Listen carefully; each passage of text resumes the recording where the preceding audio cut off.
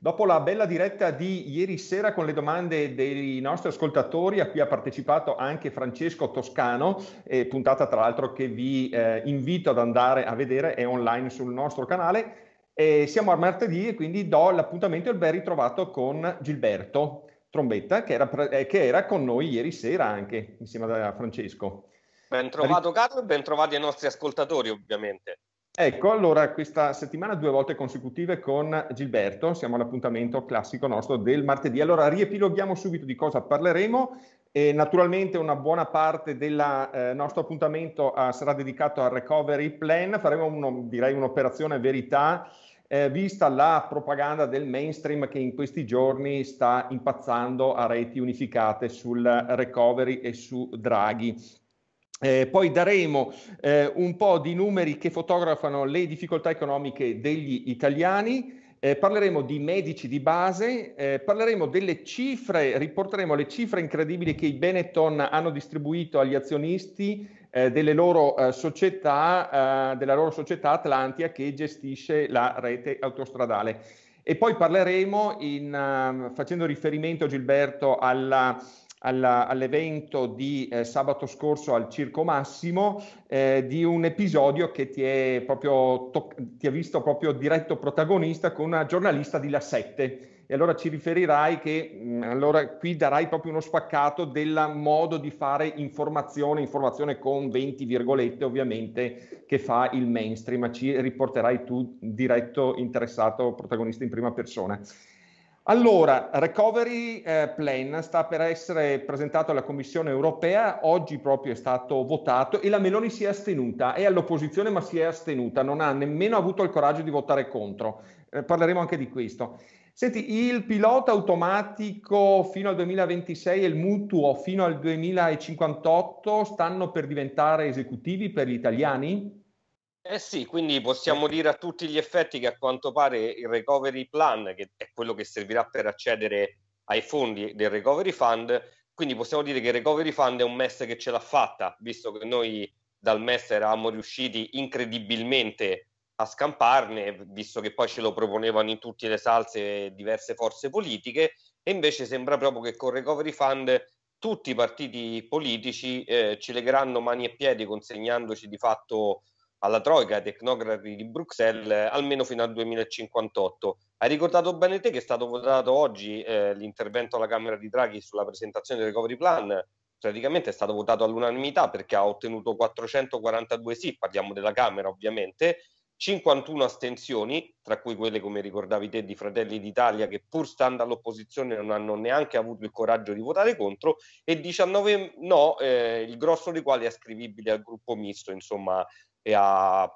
parlamentari esterni alle singole forze presenti in Parlamento. Sono nomi, che, nomi e partiti che io vi invito a ricordare perché è il nome di quelli che ci stanno svendendo per un tozzo di pane, non solo a noi, e già sarebbe tanto, ma anche ai nostri figli e ai nostri nipoti, tozzo di pane che in realtà ci è stato sottratto e ci è stato restituito perché sempre continuando con la metafora del tozzo di pane che sarebbero i soldi che un giorno riceveremo sono soldi che noi dovremmo restituire. Si chiama, fo- è un fondo il recovery fund, come suggerisce il nome, perché i soldi qualcuno ce li deve mettere e non ce li mettono i mercati, non ce li mettono la BCE, ma ce li mettono gli stati. In base a cosa? Al loro contributo al bilancio europeo e quindi l'Italia continua ad essere contribuente netta anche con recovery fund. Senti, quali sono, entriamo un po' adesso nel dettaglio, diamo i numeri veri, facciamo come dicevo all'inizio un'operazione verità alla faccia del mainstream, ovviamente per chi lo guarda ancora, per chi si, proprio si fossilizza ancora a guardare le televisioni e a leggere i eh, giornali. Senti, eh, quali sono i punti che proprio in assoluto ci penalizzano di più sia come sistema paese che come cittadini proprio, che ci penalizzano e ci penalizzeranno ancora di più. Beh, quello che a noi ci penalizza, eh, oltre eh, innanzitutto ricordiamo che questi fondi, qualora ci venissero erogati, eh, arrivano con delle pesanti condizioni. Quelle ex ante sono quelle che appunto dobbiamo presentare a monte un piano di come li spenderemo e questo piano deve rispecchiare le indicazioni della Commissione europea, quindi soprattutto eh, la transizione al verde, o meglio il greenwashing per, parlarlo con loro, per chiamarlo col suo vero nome, eh, la digitalizzazione e altre cose. Per esempio alla sanità è destinata una quota minima. Farebbe ridere se non fosse drammatico che in, in una di quella delle più grandi emergenze sanitarie, o almeno così ci viene raccontata, insomma, eh, la, la, quota destinata alla sanità è risibile. Quindi già noi abbiamo dei vincoli molto pesanti eh, a monte, cioè dobbiamo presentare un piano per dire come spenderemo questi soldi. Non basta, oltre a dire come spenderemo questi soldi, cioè esattamente come vuole Bruxelles, quindi di fatto sono loro che ci hanno scritto il recovery plan, anche perché tutti i contatti che ci sono stati tra Roma e Bruxelles erano proprio per questo. E, in più devi anche promettere che farai delle riforme, cioè non basterà che tu gli prometterai che spenderai quelli che sono soldi tuoi perché devi restituire, è come se tu prendi un mutuo a una banca, non sono sussidi a fondo perduto, no? Li devi restituire, ma in più la banca pretende di dirti quale casa comprare e come arredarla internamente. sì, che... esatto, è proprio il, il eh. paragone, il parallelo con una casa dove la banca ti dice la, devi, la puoi ristrutturare, ma come dico io, e, e direi che è calzante perfettamente che potrebbe passare se la banca i soldi te li regalasse effettivamente. Dice guarda io ti regalo 500 milioni d'euro per comprarti una bella casa, però ti dico io quale casa e come arredarla. Ci potrebbe stare in linea teorica. Se invece è un mutuo, quindi sono prestiti soldi tuoi che ancora non hai messo ma che devi restituire, quindi sempre soldi tuoi sono, eh, ma com'è possibile che ti venga detto quale casa comprare, come arredarla e magari anche chi invitarci dentro? Quindi abbiamo delle condizioni pesantissime e in più dicevamo si accompagnano a queste riforme, ma le riforme sono le solite, l'innalzamento dell'età pensionabile, più liberalizzazioni, più privatizzazioni, le tasse sulle prima casa, cioè riforme lade, lacrime e sangue, eh, riforme che si richiamano all'austerità, che è il pilastro su cui si fonda l'Unione Europea per mantenere la stabilità dei prezzi. Quindi eh, chiunque provi a porre un discorso in termini di risparmio di tassi di interesse sui prestiti che ti fa l'Unione Europea, ho capito, ma eh, ovviamente si fa il paragone con quanto costa il finanziamento a debito, cioè mettendo titoli di Stato, a parte che con quanto sono scesi gli interessi la differenza non è così sostanziale sugli interessi che pagheresti, ma continuiamo a ribadire fino alla nausea che se ti indebiti emettendo titoli di Stato, perché quello puoi fare dentro l'Unione Europea, ovviamente se tu avessi una tua banca centrale potresti finanziare la spesa a deficit senza indebitarti, cioè lo Stato potrebbe direttamente emettere banconote o potrebbe obbligare la banca centrale ad accreditare i soldi sul conto della tesoreria eh, del MEF fondamentalmente. In questo caso sei obbligato comunque a ricorrere alla BCE ai mercati emettendo titoli di Stato, però in quel caso non avresti condizioni di nessun tipo. Chiaro. Cioè, ti indebiteresti ma spenderesti soldi per quello che dici te, anche perché è legittimo che le esigenze dell'Italia siano diverse da quelle di altri paesi. Poi entrerei anche se sei d'accordo un minimo nel dettaglio dei numeri, anche per sì, capire ecco, meglio di cosa sì, stiamo sì, esatto. parlando. Esatto. I numeri principali che, che, sono quelli che rendono, fotografano sempre bene al meglio la realtà. Allora, escludendo i soldi, i prestiti e i sussidi che si rifanno ad altre voci che non siano il recovery fund, per il recovery fund l'Italia diciamo che ha messo in bilancio su per giù in conto di ricevere 190 miliardi di euro circa, di cui 120 miliardi di prestiti, quindi questi li, l'unica argomentazione, che quella che dice anche il ministro dell'economia Franco, è che hanno dei tassi di interesse più bassi, ho capito, ma anche quelli arrivano con condizioni, ma a meno dei, dei, dei sussidi, ma anche quelli arrivano con condizioni. E poi abbiamo circa 70 miliardi di sussidi. Ecco, tenete conto che l'Italia dovrà restituire eh, su per giù la sua quota di partecipazione al recovery fund è di circa 51 miliardi. Quindi se parliamo di 70 miliardi di sussidi, noi staremo in attivo massimo, nella migliore delle ipotesi, di circa 20 miliardi di euro. Io vi ricordo che l'anno scorso abbiamo perso 150 miliardi di PIL, quasi il 10%, poco meno, tanto per darvi un numero. Però dice, vabbè, ma almeno di 20 miliardi staremmo in attivo. E no, e no, perché nello stesso lasso di tempo, cioè tra il 2021 e il 2027, l'Italia dovrà contribuire al bilancio dell'Unione Europea, essendo contribuenti netti, che è una voce a parte rispetto al Recovery Fund, per 150 miliardi di euro. Ci tornerebbero indietro su per giù 99 miliardi di euro, 100, il che vuol dire però che saremmo in passivo di 50 miliardi di euro. Se li metti a confronto con i 20 miliardi di euro forse di attivo con il Recovery Fund, stai comunque in, eh, in, debito di 30 miliardi, cioè loro stanno in debito, tu sei in credito certo. di 30 certo. miliardi. Senti, la, tra l'altro una notizia eh, dice che, eh, un'affermazione dice che con il Recovery Fund eh, ci sarebbe la possibilità quindi di creare 750.000 nuovi posti di lavoro, che sarebbe tra l'altro però, non dicono che sarebbe come un riportare il livello di occupazione al livello del 2019 però.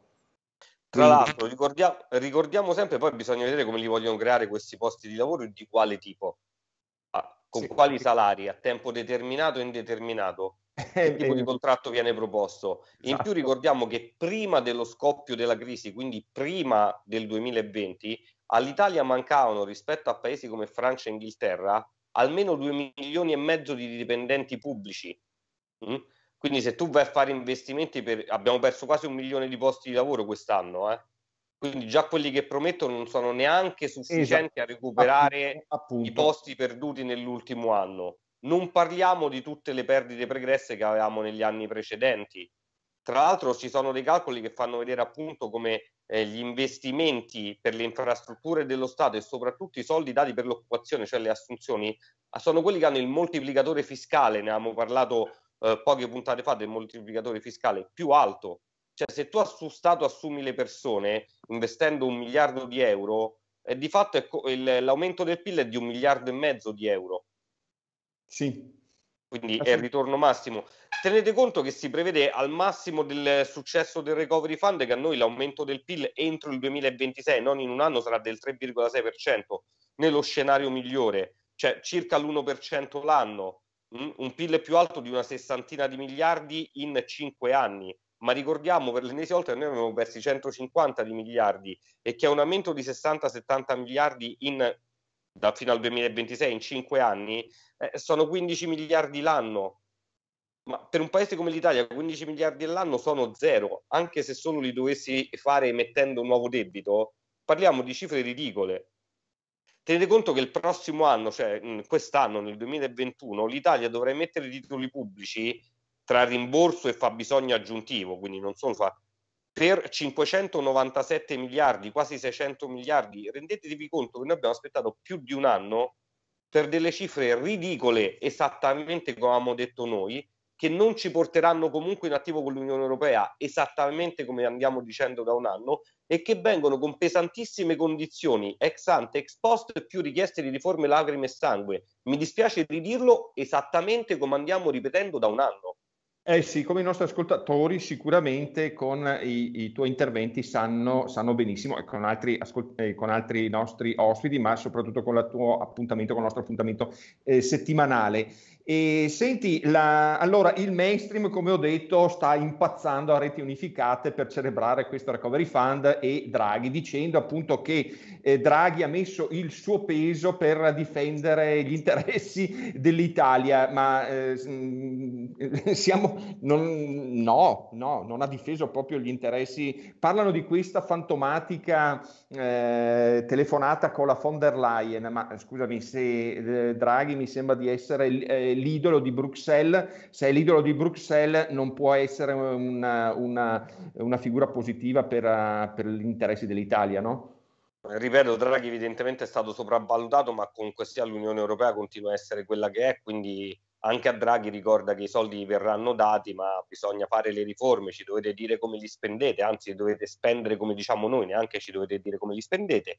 E comunque io continuo a dire perché l'equivoco a monte più grande è quello che li continuano a spacciare come soldi regalati dall'Unione Europea. Sono sì. soldi che metteremo noi.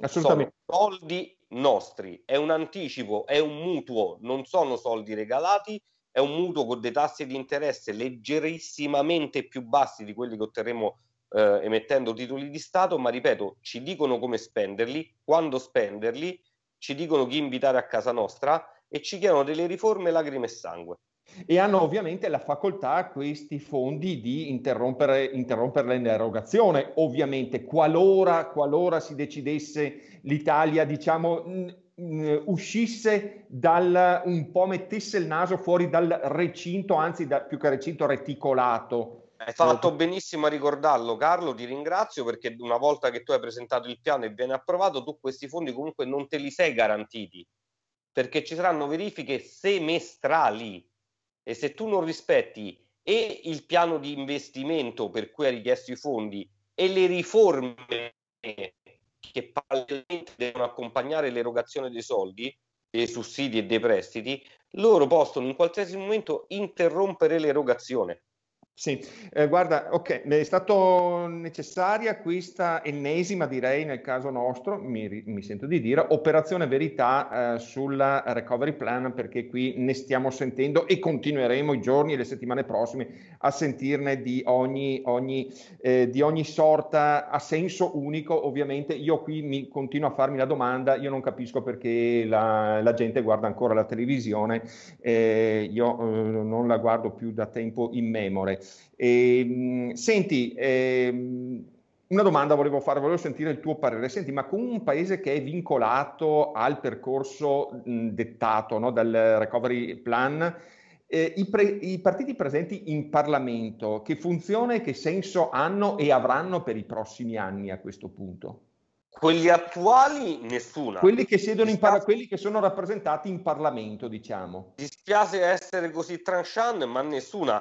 Lo ecco, dimostra mia, il voto... era una domanda, scusami, la mia era una domanda un po' retorica, no? Eh, ecco, nessun ruolo. il voto di oggi all'unanimità al recovery plan che, ripeto, ci svenderà per un tozzo di pane per di più anche il nostro fino al 2058 in cui hanno tutti votato i compatto per il sì e coloro che si spacciano per opposizione si sono vigliaccamente astenuti. Eh, appunto anche Fratelli d'Italia no? che adesso dice è l'opposizione quindi adesso opposizione dura eccetera. Alla fine sul recovery plan eh, dettato da Draghi che ovviamente la Meloni teoricamente Fratelli d'Italia ovviamente hanno detto no non se ne parla di Draghi alla fine si sono astenuti quindi tanto fumo e dopo alla fine, eh, alla fine sono mh, mm, più o meno come gli altri perché un'astensione per, per quel che mi riguarda quando un voto è comunque già unanime dall'altra parte un'astensione a maggior ragione è un avvallo perché almeno, potevo, almeno potevano farsi vedere, no? non serviva, ma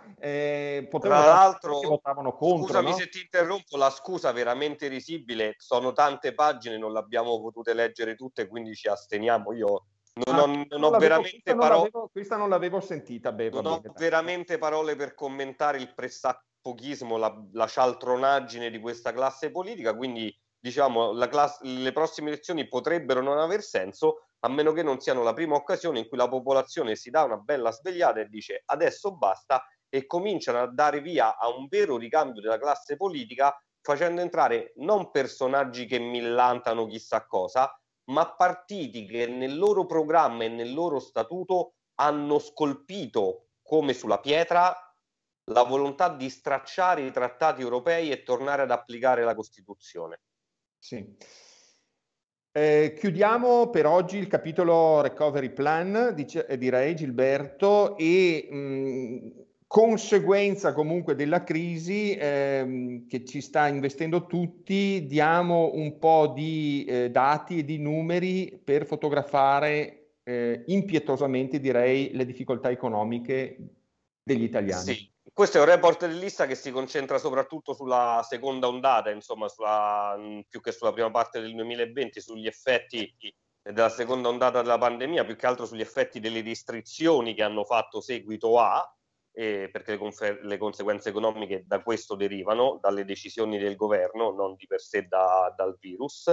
E quindi abbiamo su per giù 11 milioni di italiani, cioè quasi uno su quattro, il 22,2% eh, della popolazione, che hanno avuto problemi economici dalle difficoltà più elementari, ma quelle più gravi, cioè anche ad esempio a pagare le bollette il 13,4%, al dover rinunciare alle vacanze il 16,5%, al non riuscire a far fronte a una spesa improvvisa 13,9%, quasi il 14%, e non riuscire a, rimborsare le famose rate del mutuo. Io queste ci tengo il 6,3% in questo caso perché una delle leggende che ci dicevano eh, ma come fai con le rate del mutuo senza la BCE, con lo spread se esci dall'euro? Insomma tutte le difficoltà che ci hanno detto che avremmo avuto uscendo dall'euro, gli italiani purtroppo le stanno vivendo dentro l'Unione Europea e con l'euro, ma non poteva essere altrimenti. E, ehm, comunque difficoltà anche nel pagare l'affitto, in più abbiamo 3 milioni eh, di italiani che hanno avuto problemi con le spese alimentari, cioè beni di prima necessità. Eh, questo è il quadro purtroppo agghiacciante, ma non sorprendente che ci ha dato l'Istat nel suo ultimo report. Eh, E ovviamente molti italiani sono stati costretti anche a ricorrere ad aiuti economici, amici e parenti, ma anche delle banche o chissà di chi altro, e alla vendita di beni di proprietà e la vendita anche di beni di proprietà. E poi le immagini che mh, per il mainstream ovviamente sono, fanno parte così della ormai eh, così, della cronaca normale, così. Eh, le, le, file abbiamo, vediamo anche a Milano le file di centinaia di metri del, de, de, de, dei nuovi poveri no? che vanno alla eh, che vanno a, eh, a pranzare la, le, le, associazioni praticamente, le associazioni benefiche, diciamo, ecco.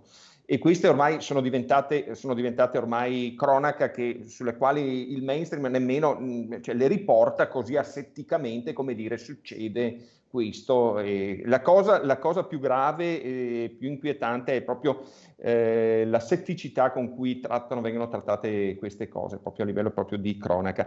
Senti, ecco, ehm, un'altra, ehm, un altro aspetto eh, che eh, si è rivelato, direi, estremamente eh, importante, per non dire decisivo, in questa fase pandemica, e qui siamo al paradosso estremo, riguarda i medici di base, no?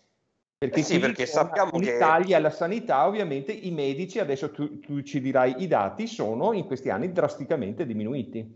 Assolutamente, perché noi ci concentriamo spesso, ovviamente, come è normale che sia, ai tagli al sistema sanitario nazionale, quindi uno pensa spesso agli ospedali, alle ASL, agli infermieri e ai medici che lavorano negli ospedali, ai posti letto tagliati negli ospedali, ma abbiamo visto che c'è stato il fallimento anche totale della medicina del territorio, della medicina di base. Perché? Perché è stata massacrata anche quella. Quindi che cosa è successo? È successo che solo tra il 2008 e il 2018, mm, circa diciamo gli ultimi dieci anni indicativamente pre-pandemia, i medici base sono calati di 4.000 unità.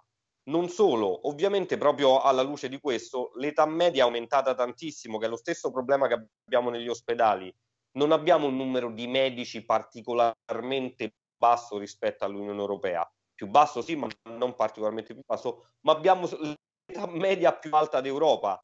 Capite che essersi formati 40 anni fa o essersi formati 20-10 anni fa fa tutta la differenza di questo mondo. Diverso è il discorso sugli infermieri dove ce ne mancano una quantità clamorosa rispetto alla media di tutti gli altri paesi europei. Eh, detto questo, che cosa è successo? Beh, eh, ci sta insomma un, un concorso per i medici di base, 1302 posti Dice, vabbè, ma se i candidati sono 1300 o poco più, è normale che i posti siano quelli, non è che ne può essere... No, no, purtroppo i candidati sono quasi 12.000. Vuol dire che l'89% verrà scartato. Cioè non gli verrà dato modo di lavorare in Italia perché eh, questi medici che non potranno accedere a questo concorso, la maggior parte de- di questi, lo sapete cosa farà?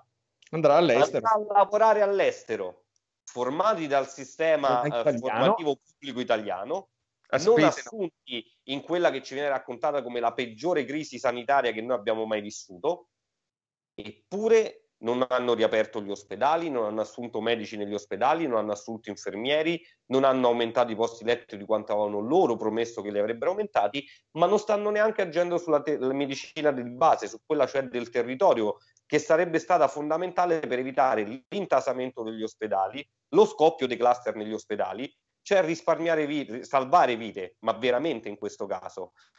Quindi quando dicono che le misure come il lockdown, il coprifuoco, la mascherina all'aperto in assenza di assembramenti o anche con assembramenti serve per tutelare la vostra salute, sono gli stessi che nel frattempo stanno per cacciare dall'Italia quasi 10.000 eh, medici per non assumerli qua da noi.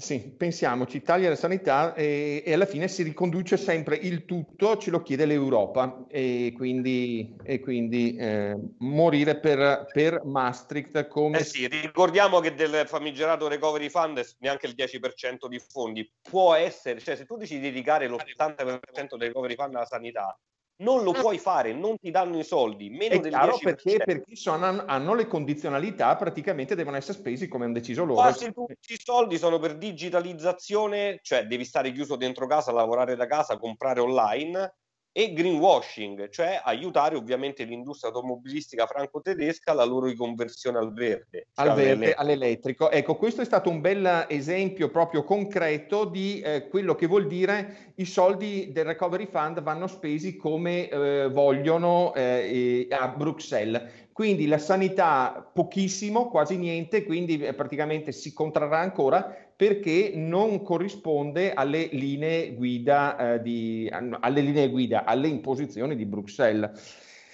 Allora, mh, mm, crollano i ponti delle autostrade, vedi l'esempio tragico del ponte Morandi a Genova, eh, e, eh, però le, per scarsa manutenzione e eh, nonostante le eh, tariffe autostradali altissime e di conseguenza eh, i Benetton hanno distribuito agli azionisti in questi ultimi anni cifre incredibili con la loro società Atlantia. Eh sì, perché che succede? Quanti hanno distribuito agli azionisti di Atlantia dividendi? Hanno distribuito, dicevamo, agli azionisti di Atlantia, hanno distribuito più di 7 miliardi, quasi 7 miliardi e mezzo, 7 miliardi 462 milioni per la precisione, di dividendi agli azionisti tra il 2010 e il 2018. A fronte però di cosa? A fronte di 488.128 euro ripeto, non ho letto male, 488.128 euro contro 7 miliardi e mezzo di euro di interventi strutturati effettuati sul Ponte Morandi tra il 99, anno della privatizzazione perché prima era pubblico, e il, 2000, e il 2018. Eh, lo 0,01% dei dividendi. Cioè loro hanno investito in, in manutenzione infrastrutturale lo 0,01% dei dividendi distribuiti, eh, distribuiti solo tra il 2010 e il 2018. Non basta perché poi chi dice ma tanto con il pubblico non sarebbe andato meglio. Siete sicuri?